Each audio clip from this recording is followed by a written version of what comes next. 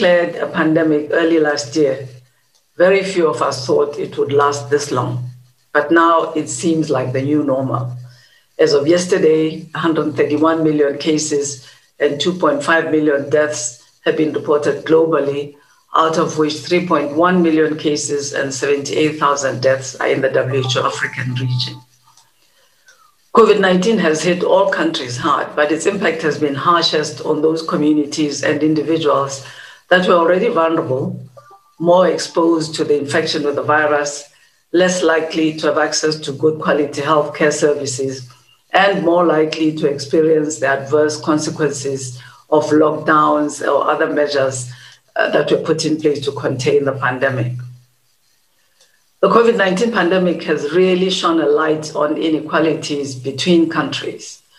Amid shortages of essential supplies, African countries have been pushed to the back of the queue in accessing COVID 19 test kits, always bringing up the question of do we really have a good idea how bad the situation is in Africa, for example, of personal protective equipment, and now of vaccines. Vaccines offer great hope to turn the tide of the pandemic. But to protect the world, we must ensure that all people at risk everywhere, not just in countries that can afford vaccines, are immunized. And of the 448 million COVID 19 vaccine doses administered worldwide already, only 11 million or 2% have been in Africa, whereas the continent accounts for around 17% of the global population. There are also inequities within countries, inequalities and sometimes discrimination based on gender, place of residence, income, educational level, age, ethnicity, and disability intersect to disadvantage vulnerable populations. Recent data from 17 African countries show, for example, that a person with secondary school education is three times more likely to have access to contraception than someone who has not attended school. Those in the highest economic quintile are five times more likely to deliver their babies in health facilities and have their babies vaccinated with BCG compared to the poorest groups. To improve the situation, we need to act collectively on the social and economic determinants of health by working across sectors to improve living and working conditions and access to education, particularly for the most vulnerable and marginalized population subgroups. Communities need to be engaged as partners through their networks and associations to help shape and drive health and development interventions. The Presidential Health Compact of 2019 is a commendable step by the South African government towards fostering a partnership oriented approach to health reforms, as well as joint accountability for health system strengthening and universal health coverage in the country. A key challenge in overcoming inequities is that there is limited data showing who is being missed and why. To address this, national health information systems need to capture age, sex, and equity stratified data. This information can then be used to inform more targeted decision and policy making, as well as resource allocation and intervention. At WHO, we're working with countries to strengthen capacities to collect, manage, and use data, and to enhance monitoring and action to address avoidable inequities. In the past year, we've disseminated technical guidance on gender equity and COVID 19, for example, and trained 30 country teams, including in South Africa, in gender and health equity integrated programming. The teams are using the knowledge and skills gained to support equitable health response, including to deal with gender based violence in the context of COVID 19. Investment is also needed to accelerate progress towards universal health coverage, to protect individuals and households from financial hardships in accessing needed care, and to improve service coverage. Most African countries have initiated reforms in these areas, believing that these will in turn contribute to building more resilient health systems, societies, and economies. And in this regard, WHO applauds the efforts of South Africa in the establishment of the National Health Insurance as a key component of health reform. Although the pandemic has slowed down the progress in legislation and rollout of the NHI, the COVID 19 response itself has also accentuated the need to improve access to essential health services to every single South African, irrespective of socioeconomic status, ethnicity, or place of residence. Moving forward, global leaders need to work together to address inequities in their own countries and abroad in the spirit of international solidarity. Specifically on COVID 19 vaccines, and here we are using the COVID 19 as an example of what must, must happen with regard to health more broadly. We strongly encourage pharmaceutical companies to expand their manufacturing capacities to overcome current supply shortages. We also encourage wealthy countries to share their doses so that the most at risk populations in all countries can be protected to save lives and speed up the recovery from this global crisis. It's important and urgent for the narrative on global solidarity to translate into impactful action as soon as possible. It matters for sustainable benefit worldwide. As the co chair of the Facilitation Council of the Access to COVID 19 Tools Accelerator, which has been developed by WHO and other partners and a number of countries at the global level, and also as the chair of the African Union in 2020. South Africa played a major role in improving access to essential, essential treatments, diagnostics, and vaccines. We advocate for continuation of these efforts in the SADC region and throughout the continent. And in this connection, I'd like to really thank and congratulate His Excellency President Ramaphosa, Honorable Minister Mkhize, and all the officials and experts involved for their leadership and contribution to this unique and action-oriented effort. I'd like to commend Africa, South Africa also for the work that you are doing together with India, with the WTO, to drive for access in term, to, for equity in terms of intellectual property sharing. The pandemic has shown that governments must increase investment in public health, including funding for access to COVID 19 vaccines for all people and maintaining essential health services while responding to the pandemic. Most importantly, making national systems better prepared to prevent and respond to the next inevitable pandemic is absolutely critical. Health instead is central to economic and social well being of countries and communities.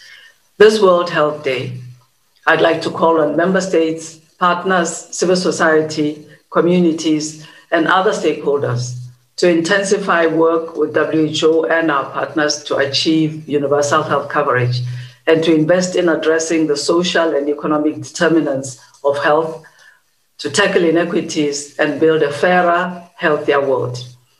We must work collaboratively to scale up health systems, strengthen interventions, and build resilient health systems that are able to prepare for and effectively respond to health crises while maintaining the core functions when a crisis hits, and to quickly reorganize, adapt, and transform based on the lessons learned during this current crisis. Also, to invest in essential public health functions and build the core capacities as outlined in the international health regulations. This is indispensable for health security. Legislation and financing, policies around emergency preparedness and response, surveillance systems, laboratory networks, the health workforce, community engagement, and effective communication with all community all constitute essential core capacities improved governance and collaboration for health and development to reduce health inequities, use the whole of government and whole of society approach, which is the most pertinent for people centered promotion of health and prevention, as well as emergency preparedness and response.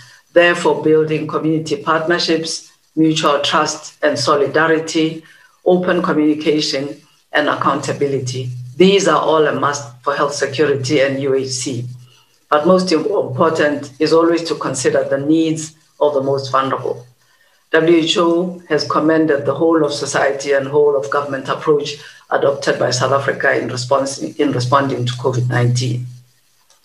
So we see that COVID 19 is just the latest example of why WHO is so focused on achieving health for all, supporting the creation of the social, economic, and environmental conditions that allow people to fulfill their health potential and overcoming barriers that prevent them accessing good quality health services and ensuring that those services are available everywhere and to everyone. As WHO, we remain committed to ensuring that all people in Africa and globally can realize this fundamental right to good health. And I'd like to end by wishing all a good World Health Day, a good continuation of the hard work in response to the pandemic. And I would just like to say that I will, before the end of the session, unfortunately, have to excuse myself to attend to another commitment. Thank you so much. And again, congratulations for all that South Africa is doing, though we recognize that the challenges remain huge. Thank you very much, uh, moderator. Well, thank you very much, Dr. Moeti, and we'd also like to uh, thank you for your leadership and your support um, as uh, the regional uh, chairperson of the WHO. Uh, we, we really, really appreciate your commendations, your kind words, and uh, the constant support that you're always providing for us. And now I wish to um, apologize profusely for missing the first item and in the process flouting protocol. Um, Deputy Minister, my sincere apologies. Um, but if we may uh, please allow the Deputy Minister to uh, give his remarks now, and uh, we will proceed for, from there. Deputy Minister, the floor is yours. Uh, thank you very much, uh, uh, Dr. Manzi, for this opportunity uh, let me also uh, pass my apology to our sister, the regional director for Afro, uh, Dr. Moeti, uh, because as the co-hosts, uh, we were indeed supposed to do the welcoming, but it's never too late. thank you very much for your kind words towards South Africa. Um, um, Dr. Mkhize, our Minister of Health, um, also, Dr. Owen Kaluwa, the WHO country representative here in South Africa, uh, heads of UN agencies uh, who are participating, our panelists uh, uh who are specialists who will be uh, speaking to us uh, later on, the leadership of civil society. I see quite a lot of subscription to this webinar.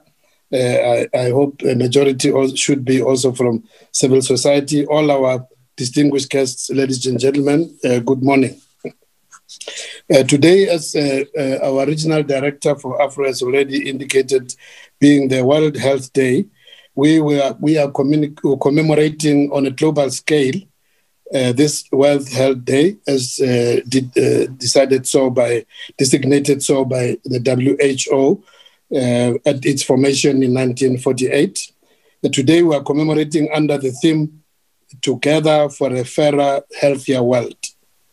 On this occasion, the World Health Organization calls for urgent action to eliminate health inequalities and mobilize action uh, to attain better health for all and leave no one behind.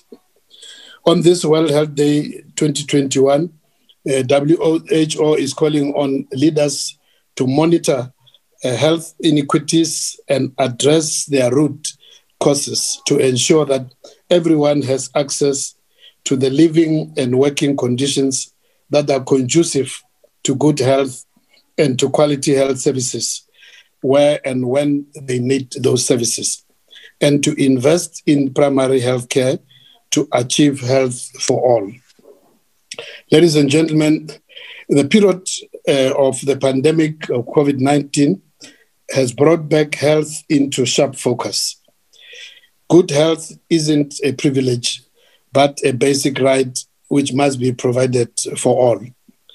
This is the basic essence of the World Health Day 2021, which is celebrated today with the purpose of campaigning uh, for the building of a fairer and healthier world. Inequalities have been with us from time immemorial, but can be reduced if not completely eliminated. Despite improvements in health outcomes globally, these gains have not been shared equally across different countries, different communities, and also across continents. The COVID 19 pandemic has had grave consequences for people already experiencing inequalities.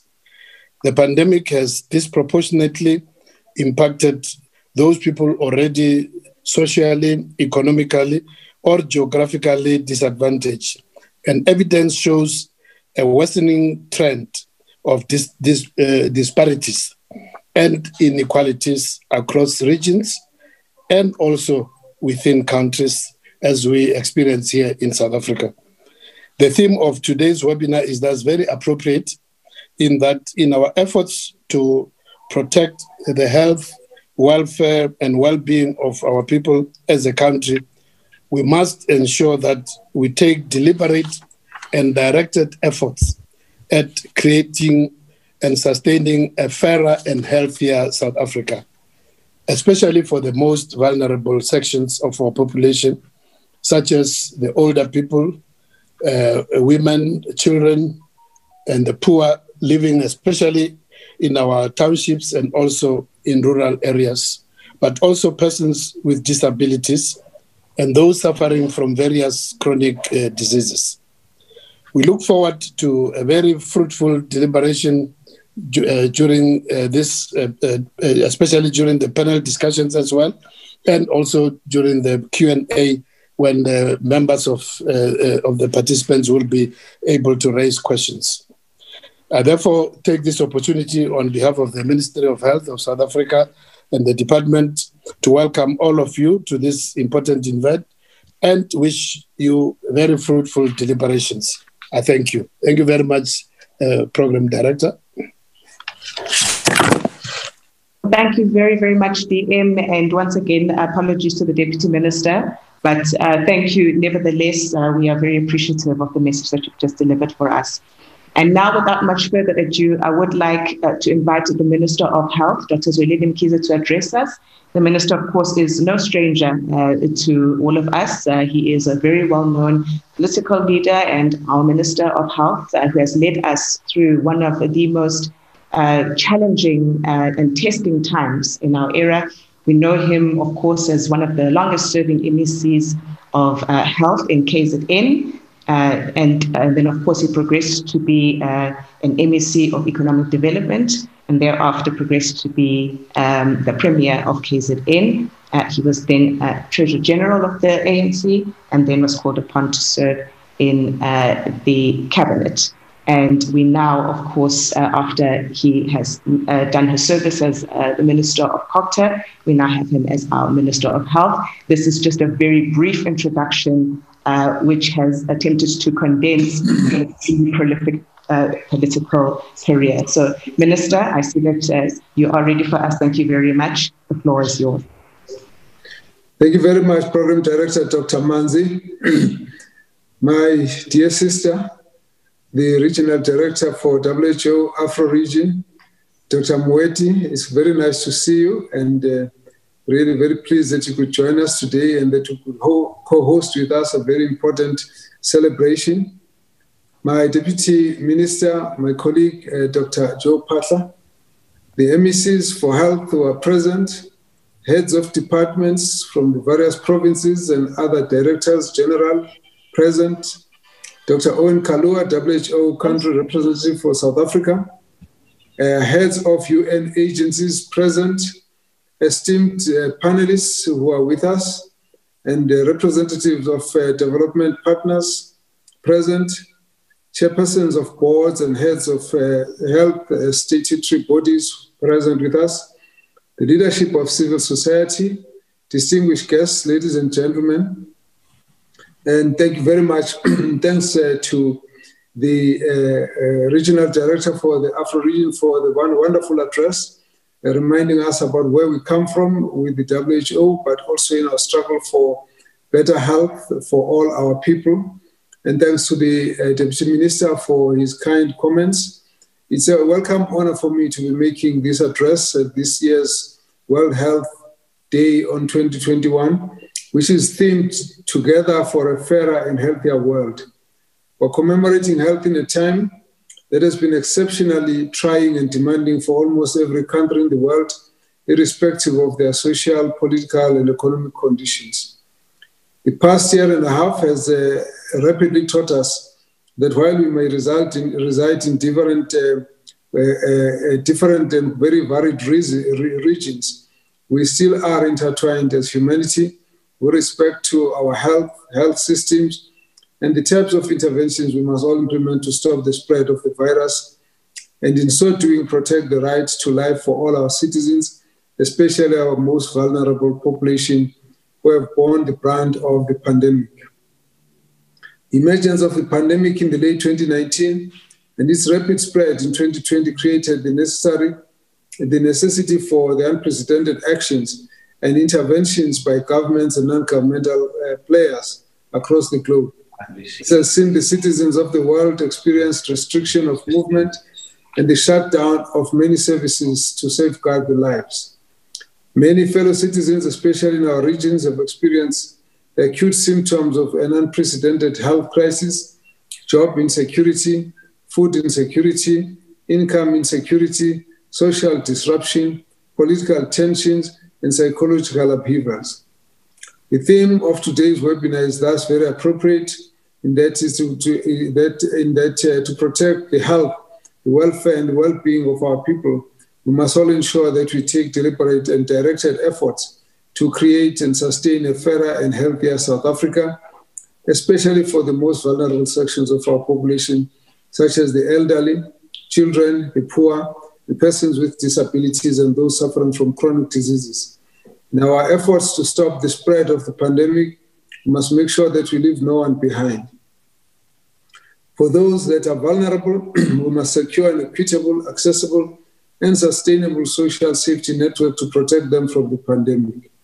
It goes without saying that to create and sustain health security for all our population, the solutions we implement to reverse the negative impact of the pandemic must be sustainable, broad based, and must draw on the knowledge and capacities of all health sector stakeholders, both local and international.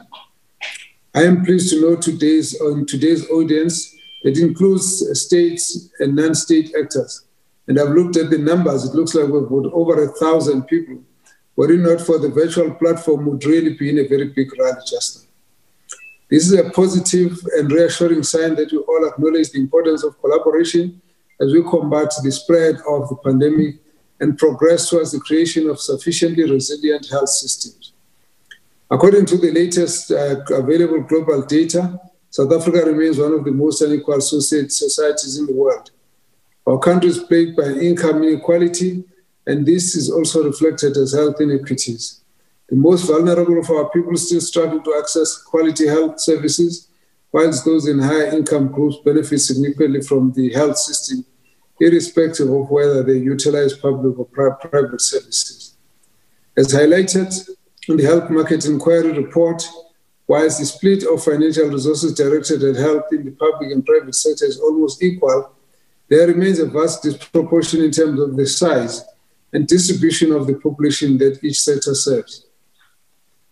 The public sector serves 84%, while the private sector, primarily through medical schemes, serves the remaining 16%. This disparity is further worsened by the disproportionate distribution of key health professionals, such as general practitioners, specialists, dentists, and audiologists, the majority of whom are in the private practice and serves mainly individuals with uh, and households from high income groups, despite the need for their services being greatest amongst the lower income and vulnerable groups. For example, in our case, a, more, a mere 24.8% of specialists work in the public sector, serving 84% of the population, while 75% uh, of the specialists are in the, uh, they work in the private sector, serving 16% of the population. Therefore, the universal health coverage agenda is critical for our context, as further highlighted by the current pandemic.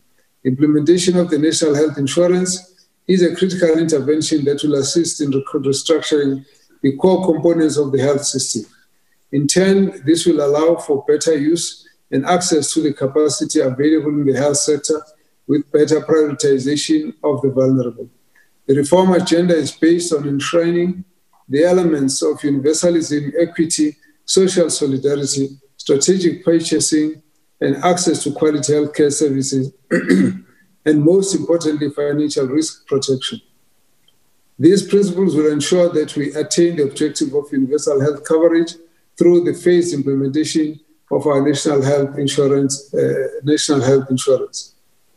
Ladies and gentlemen, there are especially important lessons that we can draw from our experiences with the pandemic to date. And if we take these to heart and, approximately context, and appropriately contextualize them, we can use them to leverage our health system reforms, uh, reform programs, and build more resilient healthcare system capable of absorbing the next public health threat that may come our way, whilst protecting the people from the devastating outcomes we have seen during the uh, COVID 19 uh, pandemic. Please allow me to share some of the core country experiences as we address the pandemic and how these bode well for our health reform agenda. The lessons are drawn from our experience with the first and second waves, as well as the proactive interventions we're implementing to mitigate against subsequent waves. Firstly, one of the earliest interventions was to create a reliable mechanism for health systems governance to ensure that uh, uh, the effort was coordinated and, and efficient. This was supported by a robust surveillance system with high quality data input. With this evidence based approach, our central structure of the National Coronavirus Command Council and the various ministerial advisory committees created to support government were able to foster confidence in the interventions proposed, especially those that require a great deal of social and financial sacrifice by sectors and, as, and, and individuals.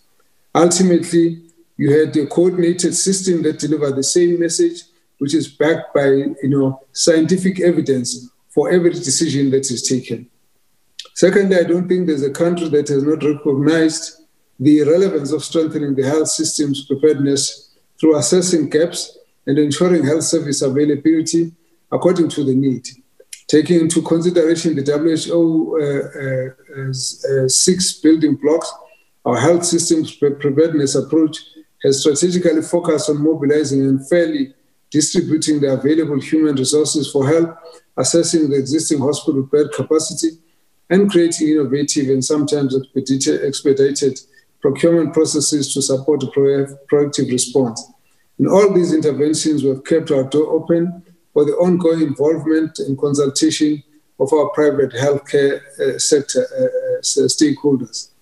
And here we've seen the movement, mobilization of resources to go and plug the gaps that were identified in the health services, be it in human resources, uh, supply uh, uh, of medicines and other health commodities, oxygen, equipment, and so on uh, all of this uh, has meant that the focus has been about prioritizing investment in health to improve the access of our people and also to provide a kind of network, uh, the um, safety net rather, that would actually help our people to recover from the, from the pandemic. Thirdly, in line with our shared consensus for the realization of equitable access to quality health care, we ensure that the response remained government-led, excuse me, with close collaboration across sectors. The role of the private sector was defined in the context of a unified system, and this is indeed a fundamental ethos enshrined in the NHI Bill. Thus, our approach has been based on an all inclusive strategy to draw on the full capacity of the health system.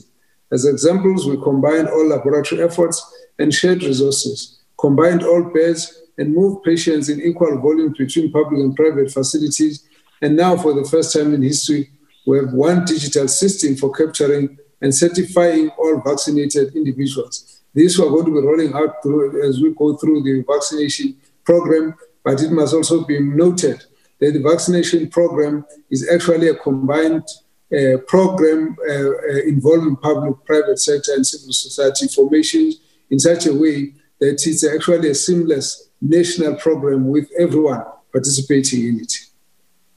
A fourth lesson is in the field of data management integration and sharing and reporting. Early in the evolution of the pandemic locally, we made deliberate decisions to establish and in some instances leverage against existing systems to support the coordination and sharing information with the private sector on the one hand, and more importantly, with the public. This has proven essential for effective and timely monitoring, planning, and decision making. In this time of the fourth industrial revolution, we use opportunities to build technology such as the COVID Connect app for tracing the, of contacts and engaging in asymptomatic cases, and the COVID Alert SA app, which is a free exposure notification application that lets people know when they have uh, been in close contact with someone who has tested positive for COVID 19. I continue to strongly recommend that all those in attendance download and utilize these apps as they are quite innovative and helpful in supporting our response to the pandemic. As mentioned previously, the efficiency of our vaccination program has been greatly enhanced by the electronic uh, vaccine data system. I think most important for us has been the fact that whenever we issue the, um, the statistics about people who are either in hospital who are protested positive, we never make a distinction whether, whether that happened in the public or private sector. We simply look at South Africans who have tested positive, and it's a combination of the public, public and private laboratories that will give us that uh, contribution. In fact, even at the time when there were problems of backlogs, we could shift the load from public to private and vice versa in order to make sure for an efficient system that serves all our people well. In terms of the uh, hospitalization, again, there's good collaboration right across with um, a very close uh, alignment of the treatment protocols right across. All, also, the, uh, the sharing of the beds between public and private, especially in ICU and general beds, we have actually had to do quite a lot of sharing between the public and private. And therefore, that has made us to actually align the two and make clear that we're running one health system with both public and private uh, uh, arms of it cooperating. And I think that bodes very well for the future of coordination and cooperation between the public and private sector. The fifth key lesson learned is the importance of diversifying procurement strategies. In our case, for example, our diversified approach included bilateral engagement with individual manufacturers, multilateral involvement through the COVAX facility, and engaging in regional approach to the African Union's vaccine acquisition task team. At all costs, our vaccine acquisition plan avoids the notion of vaccines, vaccines nationalism. We subscribe to a regime that globally ensures that uh, ensures fairness in access, equity in financing, and is founded on the principle of social solidarity and equity. It's only in this way that we, the most vulnerable locally and globally will be protected. Without this, the poorest people in the world, poorest countries, are most affected by lack of access to vaccines. Inevitably, the consequent slower rollout vaccine of vaccines in lower income countries will negatively impact on economic prosperity and development in those countries. Uh, however, the greatest lesson that uh, uh, vaccine nationalism has taught us is the critical agency for Africa to develop its own capacity to manufacture and distribute its own biotechnology. That we have to take as an urgent assignment that will make sure that come other pandemics in the future, Africa is capable of manufacturing its own requirements, whether it is uh, protective gear, uh, pharmaceutical products, uh, diagnostics, vaccines, and equipment. Africa should not be reliant on various other countries where it has no own capacity, because that will make it difficult to respond, as we have seen in the fight against COVID. We were constrained when there was a global shortage that our continent could not uh, address this issue. It's also been quite uh, a, a, a, challenge to rely on various other countries uh, when the entire continent has no access to the manufacturing capacity for vaccines. I think this is a lesson that we must never be that we must learn now and be never put in this situation where our response is very much dependent on other countries serving their own uh, domestic interests first, and therefore see the continent is seen as the last to benefit in the queue. And I think, therefore, that uh, a lot of work has to be done to make sure that uh, the African continent is also generally self-sufficient. Aspen is the only center in the whole continent so far that is able to produce any form of vaccine, even if it's a limited participation in the value chain. And this needs to be changed for, for the future so that uh, we can manufacture in the continent as much of our requirements. A final lesson I would like to share relates to the evident need for alternative reimbursement models that are practical, easy to implement, and transparent. Transparent in our efforts to draw on the expertise and capacity of the private sector, that is, hospitals, laboratories, healthcare uh, professionals, uh, it, is, it quickly became apparent that there's a huge gap in this expertise. Having said this, uh, uh, having said that, this created an indication for continued engagement between public and private sectors. A clear departure from the past where this type of discourse could not happen without landing in court. This lays a strong foundation for the National Health Insurance Fund, provide accreditation and contracting environment. Distinguished guests, you will agree with me that these lessons are not in any way exhaustive. As the pandemic evolves, our lessons treasure trove expands, and through our participation in global economy, we continue to learn new things from these con- other contexts. What is important for us is to ensure that we use what we learn to what we learn to inform our broader policy reforms around the phased implementation of our universal health coverage. Lastly, I'd like, to, I would like to reflect on the context of the health system's resilience, a key ideology that has been highlighted throughout the course of this global pandemic.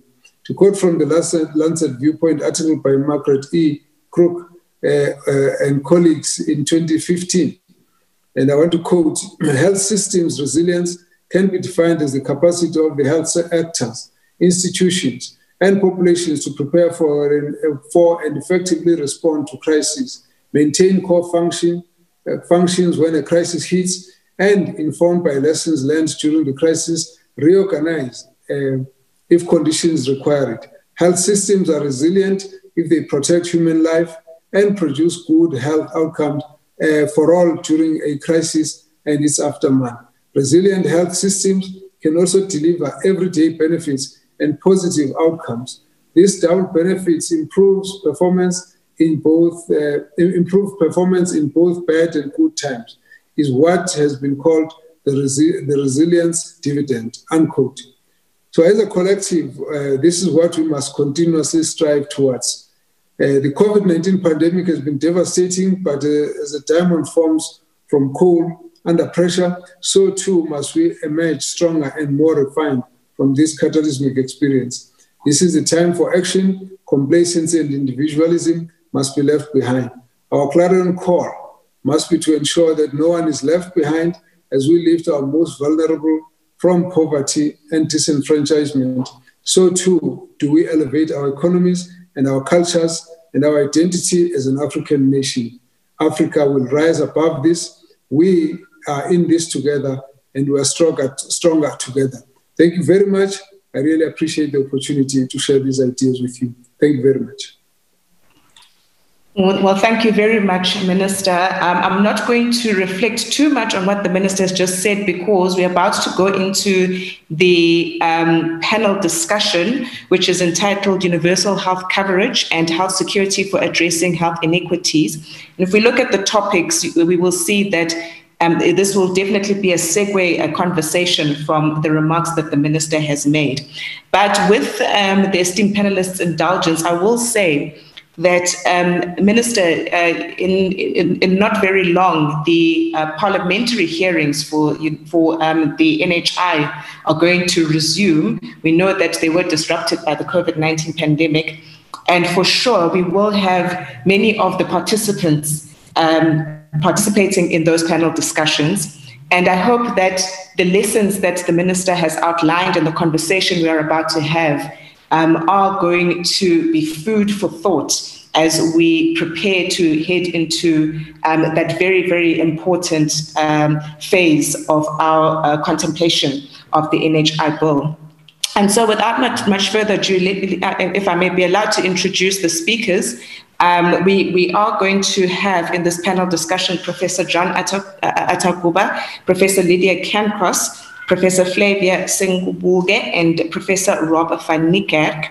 And um, uh, we'll start with Professor John Ataguba, who will be discussing the impact of COVID 19 on health um, inequities. And I'll just very briefly introduce uh, Professor Ataguba, who is he, uh, an economist and an associate professor and Director of Health Economics Unit at the University of Cape Town. And he's also uh, served as the interim South African Research Chair in Health and Wealth, that was from 2018 to 2020, and has significant experience in several sub uh, uh, Saharan African countries, including Nigeria and South Africa. He is the Deputy Director for the African Health Economics and Policy Association, and he's in charge of uh, capacity development and a member um, of the board of directors for the International Health Economics Association. Also, a prolific career in research, academia, science, um, and health economics. And we really look forward to what you have to say to us. And I, I see, Professor, you are ready with the presentation. So thank you very much, Professor. The floor is yours. Thank you very much. We come out of that World Health Day webinar. Health Minister Dr. Zweli Mkhize yet again reiterating the call against vaccine nationalism, also speaking about the lessons of the past year and unprecedented actions and interventions in efforts to fight COVID 19 that have resulted in insecurity in many areas of our lives and that we should strive for a fairer and healthier South Africa in our efforts to fight the pandemic and leave no one behind. He also spoke about alternative investment models for provision of health, saying public-private relationships proved very crucial. Also, Dr. Matshidiso Moeti, the Africa Regional Director of the World Health Organization, led the conversation for this World Health Day webinar, speaking about inequity in health due to socioeconomic circumstances, also using multiple data points to convey the message of uh, inequitable access to health. Uh, the Deputy Minister of Health, Dr. Joe Phaahla, also spoke. Uh, our question of the day is related to this conversation. We're asking you how best can we build a fairer and healthier world for everyone. Of course, you can send your inputs at the agenda underscore SABC. We'll take a look at them at some point in the show. But to this now, ANC President Cyril Ramaphosa, accompanied